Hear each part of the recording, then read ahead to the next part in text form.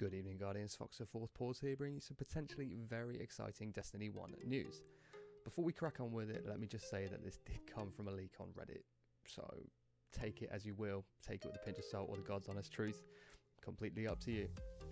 But there are rumours flying around right now that on Friday, September the 1st at 10am, Destiny 1 will be getting its own prologue. It's going to be a small patch, pretty inconspicuous, containing no patches or tweaks for environment, economy, that kind of thing, balancing, um, but will be free of cost and accessible to everyone who currently owns the most up-to-date version of the game.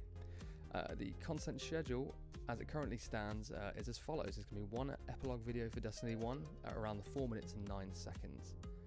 One prologue video for Destiny 2 at around 3 minutes and 42 seconds a live action trailer for Destiny 2 at 1 minute and 49 seconds, and two story missions that are going to be leading into the beginning events of Destiny 2.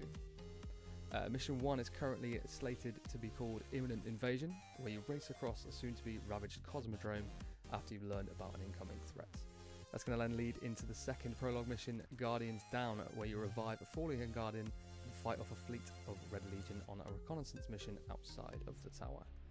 Now, I've been asking for this kind of thing for, well, since Destiny 2 has been announced, and I'm so excited to be able to give Destiny 1 the final farewell that it deserves.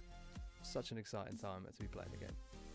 Now, there was a bunch of other information as well within this leak, uh, stuff about sparrows and ghosts that we are supposed to be able to get our hands on, um, and the fact that they were supposed to release all of this information on the last Bungie weekly update. Obviously, that never happened, um, and to be honest with you, I haven't put it in this little news update purely because the fact that genuinely I couldn't understand what they, where they were going with it on the post.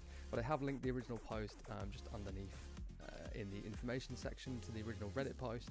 Uh, there are a bunch of people on there calling it crap and a bunch of people that really want to believe it's true. So take it however you want it. So before I let you go, as you can probably tell, I'm trying out a brand new setup for this channel uh, in front of a face cam to deliver the news to you, as opposed to doing what most content creators do, uh, roll video behind and with voice narration on top. Um, I decided to go down this route because I've got the equipment, I use it mainly for streaming, and I feel like it brings a, more personal, uh, personable edge um, to the way we deliver, you know, content news on on YouTube. So by all means, pop by, check out that Reddit thread. Let me know what you think of both my new setup and of that particular um, thread in the comments below. Thank you for popping by and having a watch, and I'll catch you in the next one.